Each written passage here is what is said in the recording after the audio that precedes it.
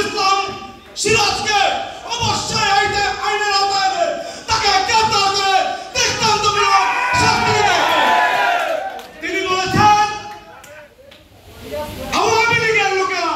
নৌকার লোকেরা হিরোসামের লোকেরা নাকি পালাবার পথ খুঁজে পাবে না আর প্রতিবন্ধী আপনাকে হয়তো দুই দিন পরে খুঁজে পাওয়া খারাপ আওতাধীন মহিষাসুর আওয়ামী লীগের সাধারণ সম্পাদক